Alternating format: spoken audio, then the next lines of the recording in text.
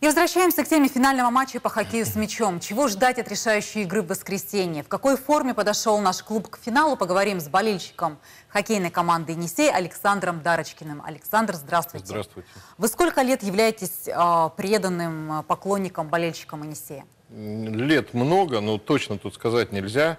Так, чтобы я уже, ну, то есть перестал пропускать матчи, э, постоянно глубоко уже погрузился в тему, это, наверное, года с 2004 -го. И с тех пор вы постоянно каждую домашнюю игру вы на Енисее? Ну, очень редко случались такие матчи, на которых я, не, которые я не посещал.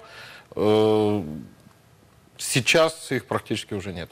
Александр, для вас а, вот этот матч в воскресенье, финал чемпионата России Енисей-Динамо, что значит этот матч для вас? Это, это значит финал чемпионата России. Это не первый финал, который я вижу, э, не первый финал, который я вижу живьем. Э, матч, э, финальный матч чемпионата Енисей-Динамо я смотрел живьем в городе Хабаровск в 2015, наверное, году. У меня плохо с цифрами. Вот. Ну, это не такой же матч. Почему? Ну, многое с тех пор изменилось. Э, практически другие составы и той, и другой команды. Э, и та, и другая команда успели сложить свои полномочия с тех пор. Чемпионские, да? Да. В какой форме, на ваш взгляд, подходит э, Енисей к финалу? А, судя по полуфинальным играм, были сделаны выводы, правильные выгоды, выводы из э, ошибок прошлого сезона. Так. И если в прошлом сезоне Енисей в э, плей-оффе был ну, очень тяжелым, то, ну вот, судя по матчам э, со Сканефтяником, Енисей прямо в порядке, в порядке. Прибавил. Не прибавил, он просто в нужных кондициях, в необходимых для... Очень сложно пройти целый сезон и быть прямо вот бодрый-бодрый. Они вот прямо в порядке. Понятно, что э, болельщики всегда ждут победы от своей команды. Э, матч этот будет принципиальным, потому что Енисей с «Динамо» э, встречается не первый раз в финале. А какой-то накал, нерв вы уже чувствуете вот среди своих э, соратников? А, до накала нам тут еще подкинули из-за странной ситуации с билетами да, на мы это тоже сейчас финал, да. Вот. Ну, а, ну, как, это матч абсолютно принципиальных соперников, э, причем обе команды высококлассные. И я бы даже сказал, э, конечно, очень хочется, чтобы Енисей снова стал чемпионом, да, но на самом деле это вторично. Очень хочется и, и так далее, но намного важнее, чтобы две команды высокого уровня Показали классную, отыграли шикарную игру, да, на, вот именно на своем уровне.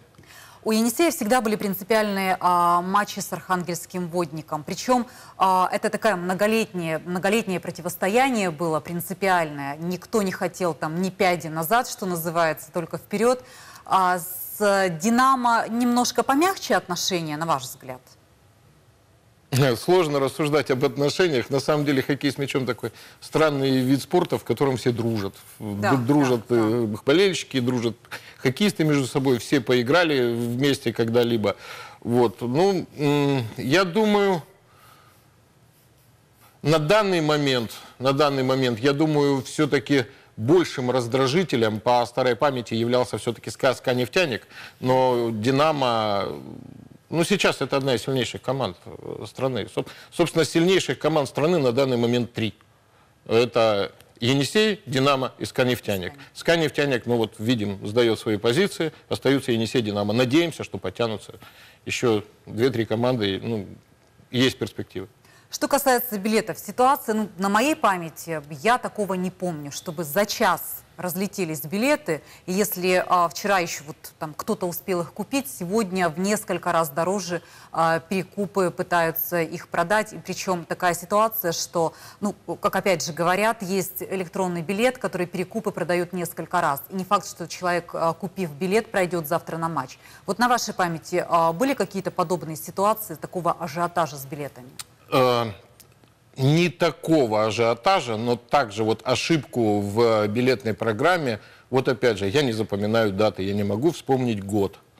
Это был матч регулярного чемпионата с, на тот момент э, с принципиальнейшим соперником э, с Кузбассом Кемеровским. Вот. И тоже была сделана ошибка в билетной программе. Она заключалась в том, что на, конкретно на этот матч, который, на, на который прямо ну, вот ажиотаж плани, э, ну, матч обещал быть ажиотажным. И конкретно на этот матч из каких-то соображений билеты не продавались, а распространялись через какую-то сеть заправок. Так. В качестве, то ли, я не помню, то ли бонусов, то ли так, то, то ли еще что. Ну и получился, конечно, бардак неимоверный. А вы сейчас вот э, сами-то смогли билет? Э, Нет, достать? я билет купить не смог. Ну, я на матч попаду.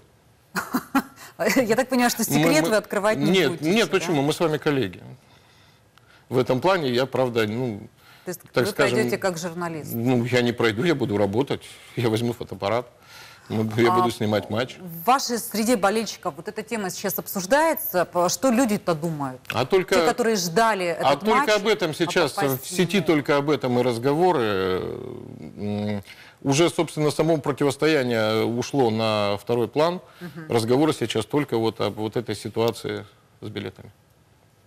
По вашим данным, а, сколько а, билетов продано и сколько, ну вот сложно, конечно, предположить, сколько людей хотели бы попасть на этот матч? Я думаю, что спрашивать нужно все-таки, причем даже не у начальников, а у технических работников а, клуба, ШОР, платежного оператора, насколько я знаю, что не платеж, ну как Система платежка, да? Да, система, система платежка. Uh-huh. Вот э, э, это нужно спрашивать у технических, технических специалистов. Но э, по состоянию на 16 часов вчерашнего дня, когда ну, было объявлено, что билет, продажа стартует в 16 часов, uh-huh. так вот, по состоянию на 16 часов система показывала в наличии 2700 билетов, но купить их уже было невозможно. На самом деле это... Э, все, все понадеялись на технику. Но, так скажем, техника штука такая, она может... Э, грузовик может вести только тот вес, который он вести может. А если на, на него нагрузили в 6, раз, в 6 системы, раз больше, это не, даже не сбой. Не просто система не в состоянии выдерживать uh -huh. такой поток э, запросов. Вот. Ну и как результат, вот мы имеем то, что имеем. Ну и, конечно, да, вот видим в сети там продажу, там уже и спекулянты отметились, и кого да, там да, только да. нет, да. И вот я не знаю, если можно, тоже всем напомню, люди, если вы хотите купить сейчас билеты где-то с рук, процент того, что вас просто обманут, это, наверное, процентов 80. Болельщики, у которых остался там вот лишний билетик, в сеть за 2-3 тысячи его выкладывать не будут. Просто потому, что у любого болельщика есть свои друзья, соседи, знакомые, которые остались без билета, и они этот билет отдадут того, тому, кого знают. Они будут выставлять Они на будут выставлять где-то на Авито, да, да, и так далее. У любого болельщика есть, э, есть куда этот билет деть. То, что выставлено на всех этих э, аукционах и э, в объявлениях, это там всего два варианта. В лучшем случае спекулянт, в худшем случае жулик. И человек даже приплатив, там, заплатив 4-5 тысяч Или билет, не получит не ничего, или получит задвоенный билет. На матч. Хорошо.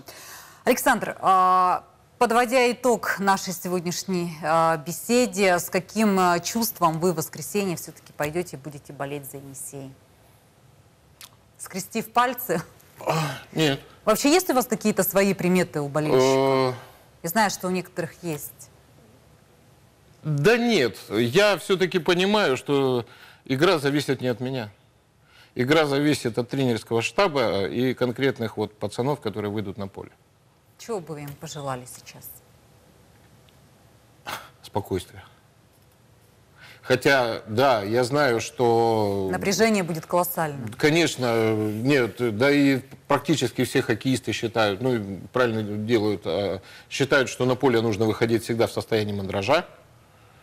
Да, но хотелось бы, чтобы вот этот мандраж не забил их навыки, не, чтобы они от этого не потеряли голову. Не перегорели. Чтобы, да, даже чтобы не, погоре, не перегорели, а чтобы эмоции не отвлекали от, э, от работы. Будем надеяться, и ждать победы. Спасибо, Александр. А я напомню, а, мы поговорили с одним из самых преданных болельщиков хоккейной команды «Енисей» Александром Дарочкиным.